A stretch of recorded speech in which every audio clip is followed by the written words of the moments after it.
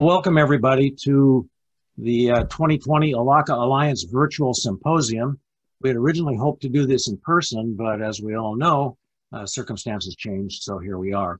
And in some ways, it's uh, expanded the reach of our symposium from those who could physically travel to uh, attend to people across the world and across the country who can sit in the comfort of their office or their living room or out on the deck or driving around in their fishing boat, whatever. So welcome to Sea Otters and Oregon's kelp ecosystem. We have three speakers this afternoon. I want to uh, thank you all for your attending and taking the time to do that. Um, and also to those of you who donated when you registered. This was not an insignificant thing and it's really helped us to provide the technology here to make this thing possible. So thanks again. And if you uh, for those of you who did not and you find this worthwhile, maybe after it's over, you can go to our website and make an, an additional donation. Shameless plug here. So also your registration name and email will be added to our list to receive our monthly newsletter. If you don't want to uh, have that happen, then you can hit unsubscribe when it's all over.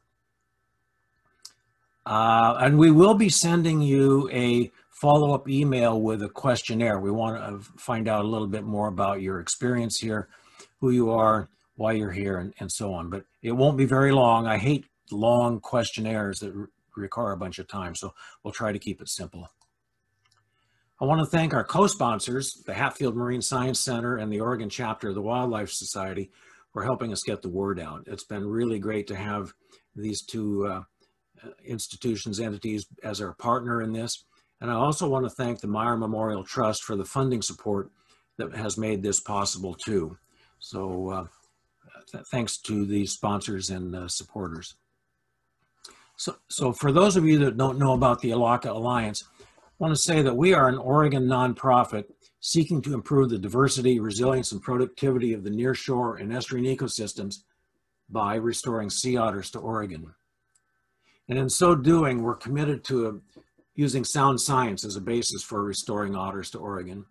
We want to understand and avoid or minimize the impacts on other ocean users. We recognize this isn't 1856 anymore. It's uh, 2020, 21, and uh, things have changed in the ocean. So we want to avoid or minimize those impacts. And we want to learn from lessons offered elsewhere about the effects of sea otters on the ecosystem and coastal communities. So you can check out a lot more about us a lot of learning resources, a lot of our activities uh, at www.elakhaalliance.org or just Google elakhaalliance.org. So today, uh, we're asking everybody keep yourselves muted during the presentations. And if you have questions for the uh, presenter that will, uh, for the Q&A afterwards, please send those in the chat room uh, to John Goodell and he's going to keep track of those as best he can and, tr and try to group similar questions uh, into uh, one question at the end.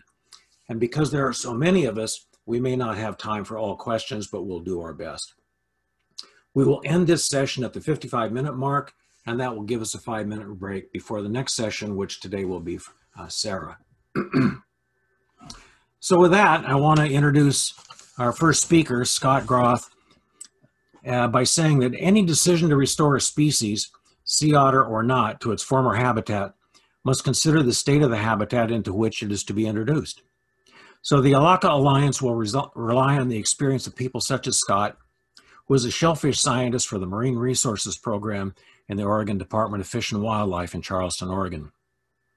Scott grew up in upstate New York, worked on water quality issues in Lake Ontario, has hiked the Appalachian Trail, which is quite an accomplishment, worked with fishermen as a biologist in the Bering Sea in Alaska, and worked as a hydrographic surveyor for the Army Corps of Engineers in Norfolk, Virginia. He has been with ODF&W since 1999 and has been in his current position since 2004. He manages Oregon's pink shrimp fishery, which is the first shrimp fishery certified sustainable, and as well as the sea urchin and abalone fisheries. He oversees monitoring, research, and management decisions for these fisheries and is responsible for field surveys of these resources. He is a guide for mountain biking events, plays hockey, and most importantly, uh, is the father of twin 16 year old daughters. Good luck, Scott. Scott has an extensive understanding of the conditions of Oregon's nearshore marine environment with regard to urchin barrens, kelp forests, and the marine communities within them. He has shared much of this in a podcast that you can find on the Elakha Alliance website.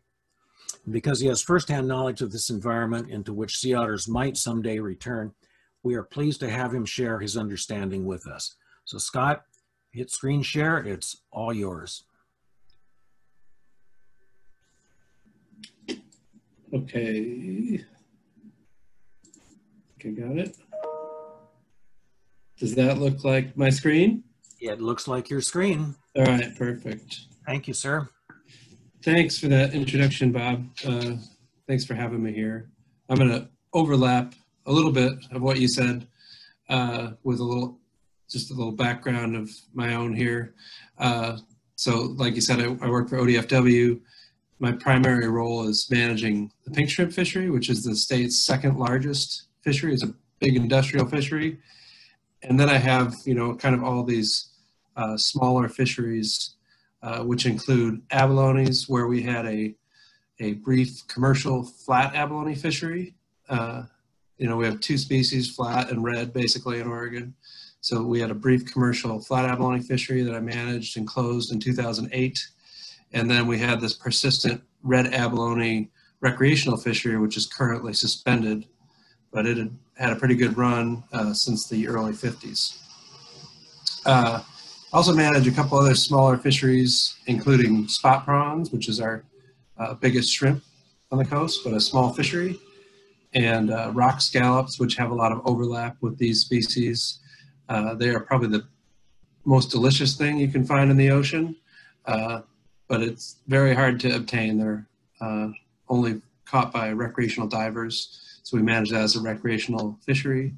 And then lastly, uh, the fisheries for sea urchins. So we have two sea urchins that I'll kind of talk about today. Uh, the purple sea urchin on the left, and then a red sea urchin on the right. Uh, and those fisheries have been robust in the past and, and uh, have changed over time and then changed again. So we'll just look through that. Uh, so I just want to give a comparison of, you know, as a fishery manager, how to deal with these fisheries. Uh, pink shrimp is a this gigantic fishery along the whole west coast that employs hundreds of people, uh, brings in about $25 million to Oregon each year. That's like at the dock, so that can get expanded out. But that species only lives one to three years. Uh, so it's really tricky to manage. Uh, we don't use a quota on that fishery, but instead we do intensive, uh, intensive fishery monitoring to understand and back calculate the stocks to assure that overfishing doesn't occur and we can react to it should it.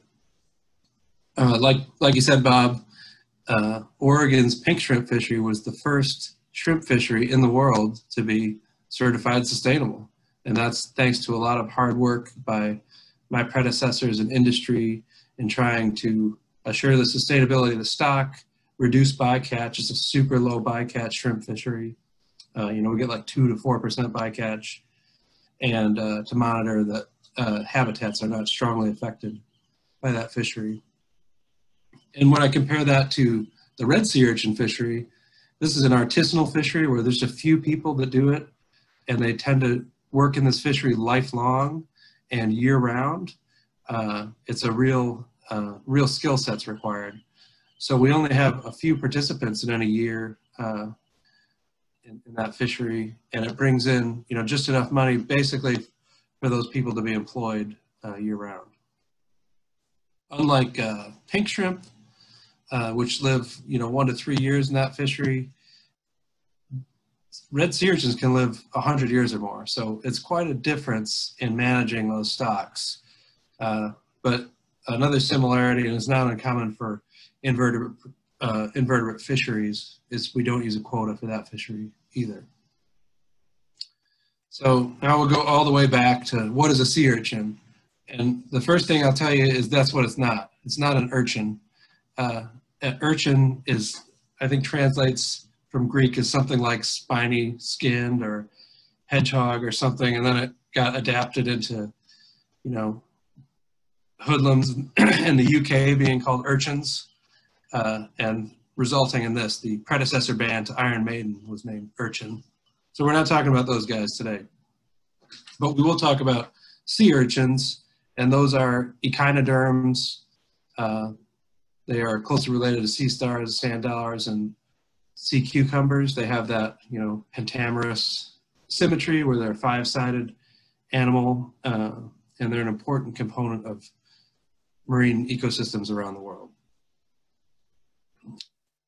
Here in Oregon, uh, and pertinent to this talk, uh, I'll talk about two sea urchins. So first we have the red, and those are red-ish. They come in white and purple and, and red, but uh, they're called red, but may not always be red. They have long spines. They're very big. They're one of the biggest sea urchins in the world. And they live comparatively deep to purples. And this species is 99% of Oregon's and really the West Coast sea urchin fishery. So compare that to purple sea urchins, which are, again, purple-ish. They also come in white, green, and pink. Uh, those have shorter spines, are smaller, are shallower. They're probably the species you're familiar with seeing in tide pools. And they really have a low market value.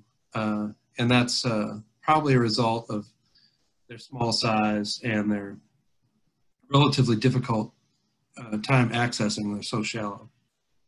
So just to put those two in a picture together, uh, these two big guys here are red sea urchins. You know, there's a big red one here and a big purple red sea urchin here.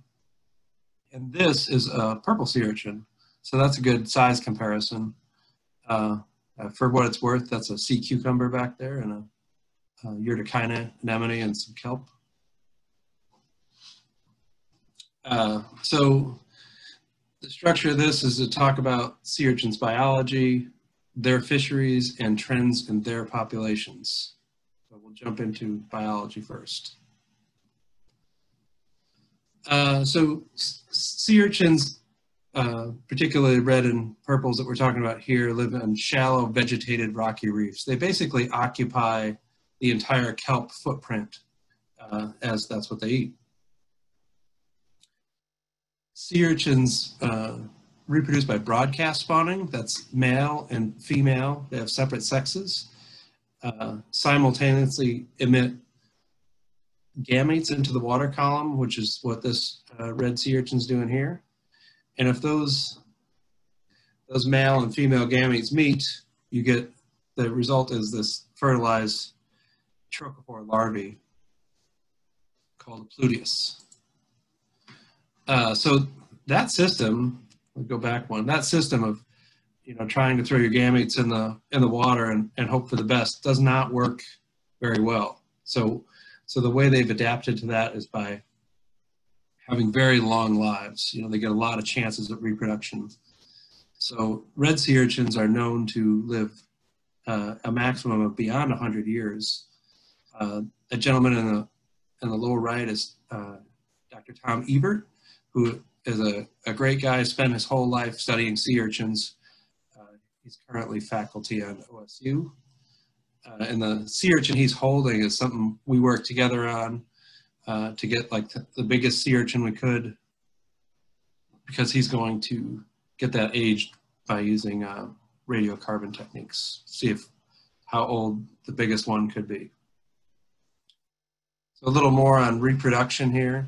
This is a little animation that I think I like to really elucidate the, the, fact of how uh, recruitment in sea urchins really affects their populations. So if you have one sea urchin, you know, everybody knows that's not going to work, right? And if you have two sea urchins and they're distant, uh, that is also not going to work. These, these two sea urchins have to be in close proximity. Uh, that's called density dependent spawning, uh, related to the Allee effect, if you're familiar. So that's going to result in a failure of recruitment. If you have a lot of sea urchins in one place and they uh, simultaneously emit gametes, and those that might fertilize successfully turn into these pluteus larvae. These guys uh, end up in the water for six to eight weeks, just being swept uh, by ocean currents. You know, there's some larval behavior involved, but by and large, those are just getting thrown around the ocean. Uh, so in Oregon, the chances of them landing in sand, which does them no good, is very high. So that is going to result in failure. You know, if all these larvae hit the sand, they're not going to survive. So, you know, this is the one in a million shot where you have uh, everything works on the left side of this diagram, and then they land on a rocky reef. Uh, you have, you know, you hit the lottery. That's called, uh, you know, another way that that's often termed is sweepstakes reproduction. That is, you try a lot and fail a lot, but when you hit, you really hit big. And, and that's, that's episodic recruitment, uh, meaning they don't recruit annually, they recruit in these big episodes. So the role of sea urchins in, in Oregon's nearshore is that they're grazers. Uh, you know, they clean up the bottom, and that can be good or bad, as, as we're seeing. And they're important habitat. Uh, you know, with their large size and their big spine canopy, they're good protection for juvenile fish, juvenile sea urchins, and juvenile abalones. And uh, as we see, they are ecosystem engineers. They really can change the nature of, of an environment. In terms of biological interactions, you know, we have this classic diagram depicting the, the role of each in uh, Southern California kelp beds where, where sea otters eat the urchins uh, who are fed by the kelp and uh, I just have the words there.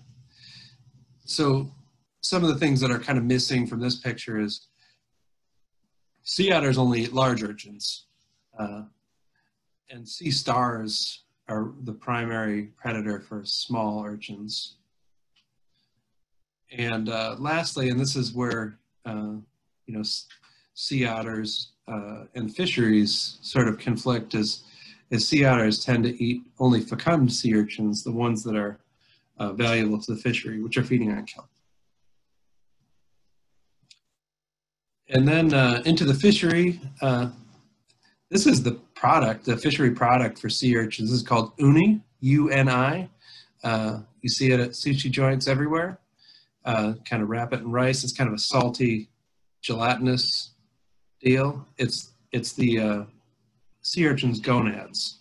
So the more they eat, the more full their gonads become, and uh, you know the, the, more fishery product that comes out of that, I guess. It is a dive fishery. Uh, in commercial fishermen pick sea urchins up one by one uh, with a small rake, uh, and there's no bycatch. It focuses in Oregon on the southern Oregon coast uh, like I've been saying with sea urchins and their overlap with kelp beds, 90% uh, of our kelp beds are south of Charleston, so that's about the same percentage of our sea urchin harvest that's south of Charleston. And then this is just another look at uni. You know, if you crack open a, a, a big red sea urchin like this is, uh, it's just full of gonads. Uh, the fishery product is actually, you know, I talked about the five-sided symmetry earlier. You get five of these uh, skeins, which is sometimes called roe, but it's not truly roe since it's uh, male or female. Uh, so you get five of these guys out of each each sea urchin. And I have, you know, in my course of work, uh, eaten quite a bit of this. And the only thing I can tell is when it's bad. And I can tell you, if you put that in your mouth, you would not enjoy the next moments of your life. Uh, but uh, something like that could be pretty sweet and, and tasty. So just to talk about the long-term trends in the fishery, uh, the sea urchin fishery in Oregon is really, uh, you know, been characterized as a boom and bust fishery, but that's not the entire story. Uh, it went from non-existent in the early 1980s uh, to a situation where uh, the Japanese economy was booming and there was a lot of demand for uni there that they could not provide. Uh, so that fishery began to move to the U.S. West Coast and uh, went all the way through California and finally reached Oregon in about 1987 or so. Uh, and at that time, sea urchin divers uh, found just basically virgin stock of these very old sea urchins that have been without any predator for more than 100 years at that time. Uh, and kelp beds were great in those years. Those were La Nina years. Uh, and market was great. So, so a lot of people had a lot of good times around Port Orford around these years. The fishery just got gigantic. I mean, I know it's only marks on a on a graph, but this this uh, year, 1990, the sea urchin fishery was bigger than Dungeness crab fishery in that year. Uh, it was really a big boom. Those guys going out each day making uh, a few thousand dollars. Uh, but after that, after they had mined down that uh, virgin stock, because you don't have these annual recruitment events, it's kind of turned into this small, stable fishery. You know, these uh, these blips on the y-axis don't show up very much, but it's mostly just drowned out because of this these big few years. These, this is pretty valuable fishery. It's our third most valuable shellfish fishery to crab and shrimp. Uh, like I touched on here before, 90% uh, of the fishery occurs in the south coast. But even more important than that, I think, is that uh, almost all the fishery, 71%, occurs at these offshore reefs. So not not like where people are familiar going down to the beach and seeing a kelp bed, but uh, Port Orford Reef and Rogue Reef are distant uh, from the beach, uh, and, and, that's where that's where most of the harvest has occurred. Most of our kelp beds are out there as well. Uh, lastly, to talk about just like a kind of a trends in the fishery is uh, this fishery exhibited this really cool uh, dynamic response pattern where uh, the x-axis here is the amount of trips divers make in a year and the y-axis is the average landing they made. And you can see these three different eras where the fishery, you know, there was a small number of trips and they were catching tons and tons and then they uh, just worked the stock down. So that worked in reverse. And then for the last many years it's end up in this sort of stable situation with a a small number of trips but a pretty uh, pretty valuable uh, fishery so dynamic yep early years yep uh, great success and little effort and then more about you know the stock being mined out i just want to emphasize that you know just there's not annual returns on sea urchins. It's it's uh, at the ocean's whim. And then just how this uh, fishery had settled into a small, valuable fishery suited to that small suit, uh, small fleet. And the future is unclear because this all happened basically on one stock. Uh, and, and basically what has happened, and I'll show you in the next section, is is the stock has basically just replenished to what it was prior to, to all this. Uh, so how we how we learn how many sea urchins are out there is by surveying. And how we do that is we send divers down to perform subtidal belt transects. These are about 30 to 40 meters long by two meters wide. You send a pair of divers down there and they count and measure the sea urchins in that transect. Uh, we do that with index sites, meaning we go back to the same places year in, year out. Uh, the frequency of these surveys is uh, not scheduled necessarily. We've done a lot in the 90s and then we've done a lot in the 2010s. We have focused on Port Orford Reef mainly because that is half of the fishery. So all these little dots over here on Orford Reef are sites that we've returned to since, you know, as early as 1984, uh, but did with frequency in the 90s and the 2010s. Uh, so there's a few slides I shoved in here at the last minute just to kind of give you guys like a gee whiz picture level what's changed at Orford Reef. So here we are. This is where I'm going to show you pictures from. This is Port Orford Reef. You know, town of Port Orford's down here. You got to go uh, past Tichenor Rock, and uh, there's this the state's biggest uh, reef is right out there. A real beautiful spot. And this is what it looked like in 2014 when we did surveys. This is Arch Rock, one of the first rocks you come out to as you approach the reef from the south. And you can see in that year, just as just anecdote, really, but uh, you know, we had trouble doing the surveys. There was so much kelp. It was a really uh, cool water year the prior year too. We had a, had a great, uh, great ocean. And then in 2016, the same place, the same site, there was very little kelp. That those issues of getting through the kelp to do the surveys were not issues. And then when we did it in 2019, there was almost no kelp. Uh, so kelp is a annual, I think, but uh, there's still this been this trend of down with the trend in uh, ocean waters and being warmer through those years. Same thing out at Humbug. We did surveys out there and there was some kelp in 2016 and there was basically none in 2019.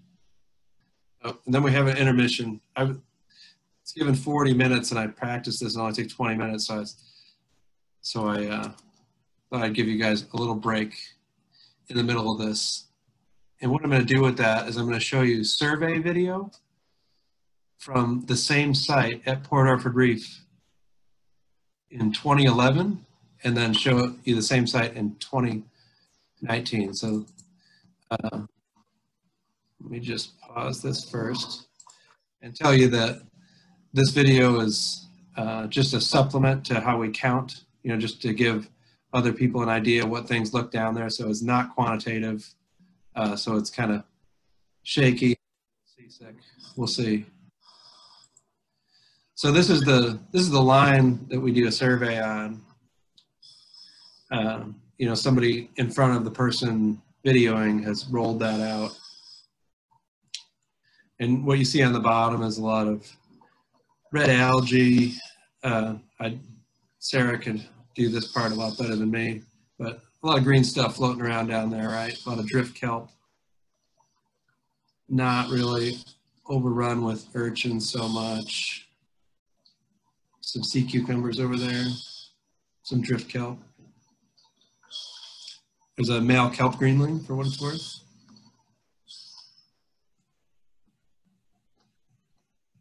Kind of following the diver.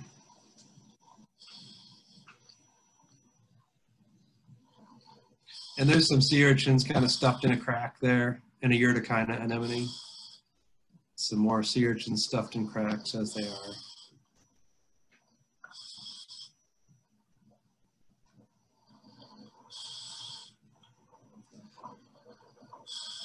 And that I think is a laminaria or something. Again, Sarah would be more useful to me here.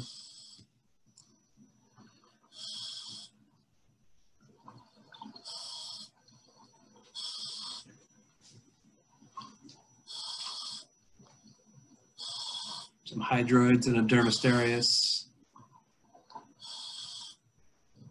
I don't think on this video we were seeing a lot of pycnopodia, of course, on every transect in the past, but I don't think this one actually has any of those large-bodied sea stars.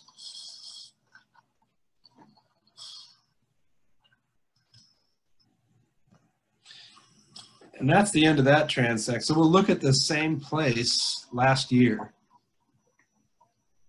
He's at 55 feet for what it's worth. So this is the same site last year. And we have, uh, oh, getting oriented there. You know, a lot less drift kelp. Uh, certainly around, it's, it's more exposed rocks that have been scrubbed down a bit. And you can see when he focuses on the bottom, you can see uh, purple sea urchins are generally the small ones you see, and generally the larger ones you see are going to be red sea urchins. You're down at 60 feet, so the, the color's not great. Uh, but you can see the absence of, of drift. That's a bunch of purples there. That's the other diver.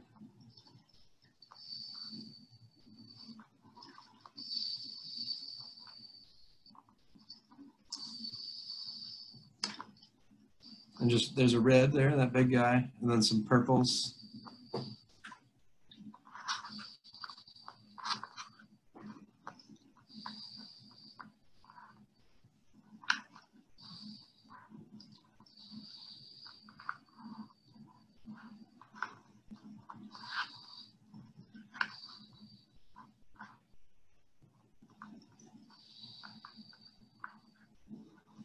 You see some urchins roaming around, you know, as opposed to the other video where they're stuffed into a crack, you know, without without the small uh, sea urchin predator of, of sea stars, and with the need to move about and find food, uh, those sea urchins are out of cracks and walking around. Those are all sea urchins. Steady. And that's the end of that, that one. So that was your intermission. Uh, uh, I just wanted to, uh, I mean, I guess wanted to fill some time there too, but just give everybody a general idea of what, what that all looks like, uh, the time difference. So the result of those surveys uh, shows that this gray on this bar chart is, is uh, red sea urchins. And you see there was a lot of red sea urchins prior to the fishery beginning, and then they were uh, sequentially kind of mined down. And by 2011, we really barely had a, a commercial amount of sea urchins available to sea urchin fishermen. It was pretty slim pickings, you know, uh, for sea urchins. And uh, then around 2016, we started to see uh, consequences of these big uh, recruitment events that probably occurred 2014 to 2016. And so if you just look at the gray bars, you see, you know, the fish down sort of, and then kind of the full rebound to where there was more sea urchins in 2019 than there had been in 1984. Now, it, it comes with the big caveat that these 1984 sea urchins were probably uh, much, much larger than the 2019. So it's not really a biomass estimate, just an individual density estimate, but it shows that that stock is fully recovered really without any recruitment. Uh, if we move over to this graph on the right, these are histograms of of sizes of sea urchins. So small sea urchins on the left, big sea urchins on the right. And you see the first year we measured them was 1991. And, and you have a lot of big sea urchins over here, but you also have this dominant cohort uh, here at about 85 or something like that. And that cohort of sea urchins was probably born, you know, that was a big event probably five years prior to this, maybe 1986 or something. And you can see that that, if you follow just the peak, you can see that is that same cohort, cohort sequentially getting larger over time. I told you these, these guys live very long lives. Uh, so this is almost certainly the same population, the same cohort, same age class of, of sea urchins just getting slowly larger. So they were 75 millimeters you know, three inches or something in 1991. And by 2014, they're five inches. So that's, they, they grow fast to start out with, then it really levels out. Now, everything really changed, as I was saying, in 2016 when we had these big recruitment events. So where the population had been dominated by large sea urchins just a few years before, uh, the current population is is really just very uh, heavily dominated by small sea urchins. And those are all reds. Uh, so just for a second, I'm going to talk about purples. Uh, the nature of these surveys was always to survey red sea urchins, which was the, the fishery target. And uh, consequently, they were all set in deeper water where you don't really expect to see a lot of, or you didn't expect to see a lot of purple sea urchins. And sure enough, uh, they saw very few, the white bar here is purple sea urchins, and they really were just a blip on those surveys in any years until 2016 and 2019 when they became a major component of uh, what was being counted down there. So basically went from nothing to the most uh, common animal down there. Uh, so yeah, these bullets are just saying those, those sea urchins, how the fishery mined out that single uh, cohort probably, and uh, then fully recovered. And then uh, regarding purples, just to, re to, review there, went from barely there to dominating. Uh, so here's some of the things we've learned from doing uh, this work following this fishery is, is those fishery independent index surveys are really critical for us to understand what's happening uh, to those stocks over time. You can't really get a snapshot since they live such long lives and exist on a different temporal scale than we do, uh, repeating the same places over and over and having an organized backlog of data is really critical to understanding the trends in that stock. And then further, that fishery and stock do not re rely on annual cycles like crab or, or shrimp or salmon, um, things you're more familiar with. It's instead uh, almost random uh, based on ocean conditions. And then this is maybe more about uh, fishery management, uh, but this bullet says that about just restraining the fishery on harvest areas, like making a quota, is way, way less valuable for a species like this than just preserving some source areas that can act kind of as a spawning stock for the fished areas. And then there's some what's next. Uh, this is a, you know, purple sea urchin barren, I suppose you would call it.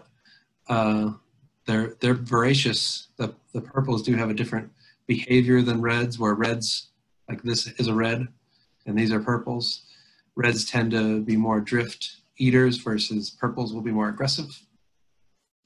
Uh, purples primary predator has always been this uh, species of sea star called Pycnopodia or sunflower star.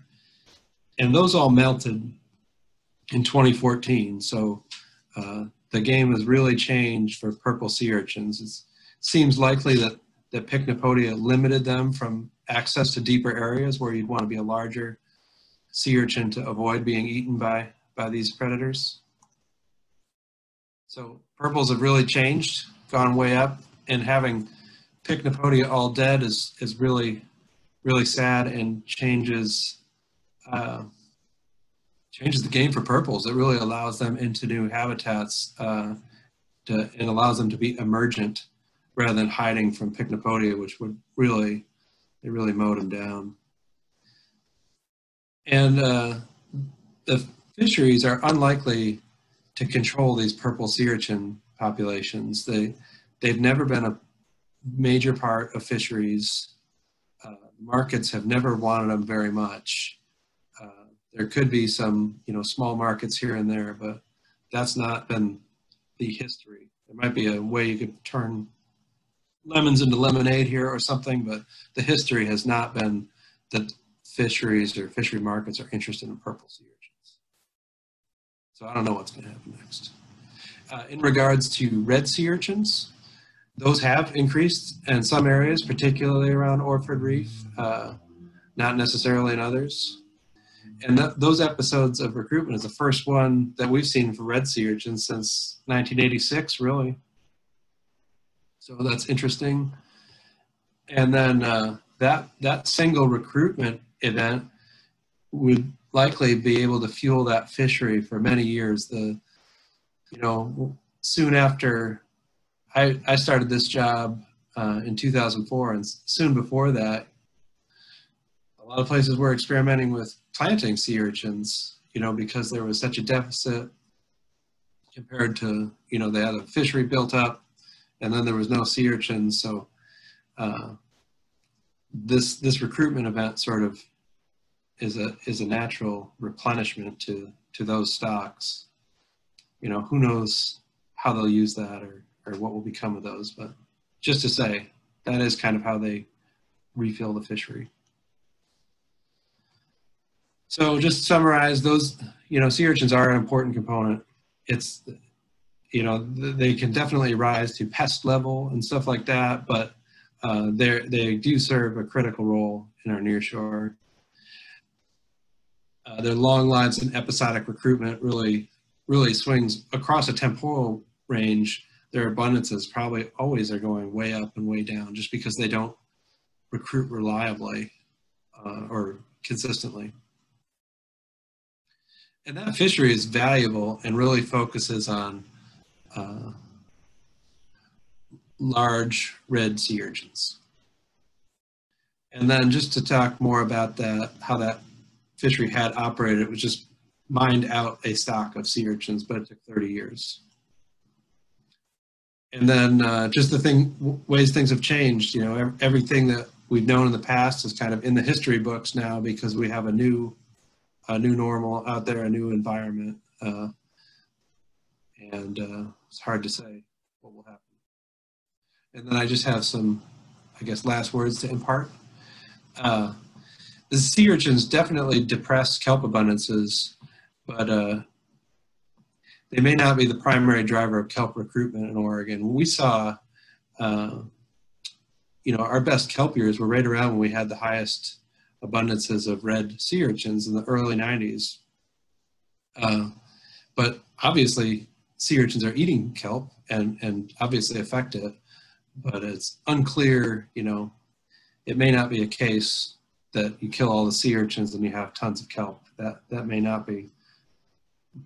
It seems like there's another driver at work, but uh, hopefully we'll hear more from Sarah. And I have low amount of expertise there, just wanted to contribute that. And the Pycnopodia and other large-bodied sea stars that all melted in 2014 are really missed just like just like the sea otter, you know, from our it's a big piece uh, of our nearshore ecology that's no longer there. Uh, so the future's unclear for those guys too. You know, if they happen to be able to succeed recruit, recruiting back, that could have a big effect on those small sea urchins they eat. Uh, and I think this is the last one. Uh, we have a tool to deal with a lot of red sea urchins. You know, fishery, it's a wanted fishery product that, that doesn't exist for purple sea urchins. And then the last one is uh, just about abalones. Abalones, there's seven species along the west coast and five are currently on ESA lists. Uh, the other two, which are reds and flats, you know, are probably not too far away. And, and this situation is, is very likely to affect their populations further. The, their main competitor is sea urchins, and their main food is kelp. So uh, you can imagine that competition. And I think that's all, all I have here if there's any questions. Thanks, Scott. Uh, this is John Goodell, and I'll, I'll just relay some of the questions to you, and uh, I will do that in the order we received them, and we won't be able to get to all of them. So for those folks that submitted questions, I apologize uh, that we won't be able to get to everyone. But uh, the first question is from Melanie and from Danielle. And when you say, when you mentioned at the beginning, certified sustainable, who is the certification agency and what are some of the benchmarks or protocols that would, you know, allow the, the entity to designate a, a sustainable fishery? Uh, so for pink shrimp, uh, that's the one that's certified sustainable. And the certifying uh, group is Marine Stewardship Council, which is the the top, you know, the that's sort of the, the top of the worldwide sustainability certifications. And that sustainability certification is built on uh, one is to assure that the stock isn't being overfished, which we do quantitatively in a in a way that's too dry to explain here. But uh, two is to limit the fisheries effect to other species. So in that one, uh, we've done a lot of work and worked with industry to virtually eliminate a lot of bycatch issues. And then three is to assure that fishery doesn't affect habitats. uh, in a way that's like unrecoverable or there's enough reserved other places. And for that, in that fishery, we, we do uh, periodic checks of uh, unfished versus a fished area and look at recovery rates.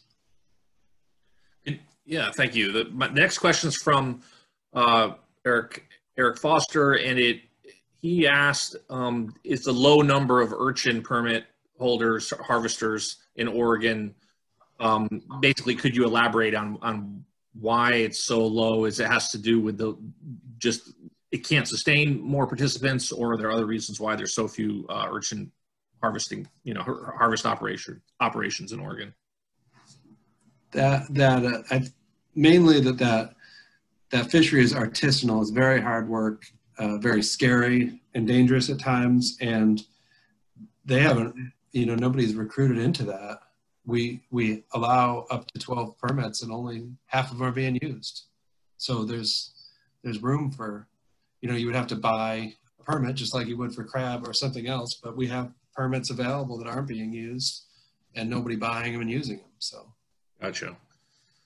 There's a jumping back to pink shrimp. Uh, a question from James: What is the depth range of the pink shrimp fishery? Uh, they're 80 to 80 to 150 fathoms, so that's that's a you know 160 to 300 meters, Gotcha. all and mud bottom. Great, thanks. The one question from Josie is: Can you characterize the Oregon recreational abalone fishery? I, I, I think maybe the, the, the there wasn't. Maybe well, maybe there isn't any abalone recreational abalone fishery in Oregon. But can you characterize Oregon recreational abalone fishery compared to California's? Why is it possible to discuss things like sea otter reintroduction in Oregon relative to abalone, whereas in California's north coast it is a, is a, um, controversial um, because of the abalone fishery? Uh, well, to characterize Oregon's red abalone fishery in the last 20 years, basically, it's been a trophy fishery. Uh, a lot of animals grow to their largest size at their polar extents, and the red abalone is the largest abalone in the world, and Oregon is its polar extent. So Oregon actually has the largest abalones in the world. Uh, so, so the fishery has actually been one of those rare cases where it's a trophy fishery. You know, you think about trophy hunting as you know this one thing, and I never think about trophy invertebrates. But uh, Oregon's abalone were that. Uh, we had people come from other parts of the world and a lot from California just to see who could get the biggest shell. And sure enough, the biggest shells came out of Oregon. And then regarding how that the, the, nexus with sea otters, I mean, that's definitely the, the first thing sea otters are going to eat is abalones. Uh, you know, that they prefer abalones and and sea urchins is, is the little I understand compared to the rest of the group here. So that would be a concern if that was a primary uh, fishery. In Oregon, it might be that those abalones are so tucked away, it might be less of a concern, but uh, we just don't have we don't have the size of fishery as they do there too. Right. Okay, I got another question from Gail, and and she mentioned in your two videos appear to show a tremendous change in red algae cover um, between the two dates. Uh, said red, she said red algae are known to be important habitat for kelp gametophytes. Would not their demise affect the regrowth of kelp in this area? If that's Gayle Hansen, I think that would be a question that Gayle Hansen should answer more than me. I, I don't know. You know, it was just two videos we took of urchins. Yeah. I, I, just know there's a lot more kelp in 2011 than there was in 2019. That's the rest is out of my wheelhouse. Yeah, I gotcha. Um, okay, let's see if we have time for one more question. Um, sounds to me like we now have robust red abalone population near Port Orford. Have have ODFW adjusted fishery management to shift away from the old model? And if that, if sorry, I'm not going to get to that one quite yet. Um, here's one from Lillian. What are the human demographics of the red urchin fishery? Are the fishermen women mostly close to retirement, or are they are there young participants as well? Yeah, that's a that's a important question because in California, the way the sea urchin fishery has been limited in permits, it's been attrition. So each year you can't get a new permit. So each year every permittee gets one year older, right? And eventually you lose permittees. Uh, in Oregon, uh, we do have some younger participants, but like I said, it's a artisanal fishery that's a lifelong fishery. So there's uh, several guys that have many years ahead of them. You know, we have some people that have just started in the fishery. Uh, it's a little different permit system that causes that, but uh, the ages of the small number of people we have is really across the board. Okay, I got one, maybe one more question from, uh, our final question from Bruce. Are there any plans for offshore wind farms or tidal energy sites that would imperil any of these invertebrate fisheries? There's nothing I know about that would imperil the, you know, sea urchins colonies. They're so close to the beach, but I'm, I'm a little out of that. That'd be a, I could refer someone to that question, but that's a little out of mine. No problem. Well, thanks so much again for giving your presentation uh, and I, I learned a lot. I- I hope everyone enjoyed it and I'm going to pass it over to Bob. Thanks. Thank you, John. I don't know if I'm popped back up on the screen yet or not. You are. I am. And I would answer that last question by saying, Bruce, if you're interested, uh, I can talk more with you offline or anybody that's interested. We can have a dialogue. I was very involved in, in the planning for some of that offshore ocean wave energy a few years ago. And there's a lot of background and detail to it. But uh, at present, there's no plans for that, at least in state waters um, at, at the present time. So thank you, everybody, for attending this first session. We'll take a five-minute break and allow new people to come in if they're attending, and then we will get to our next speaker. So let's all uh, take a break here.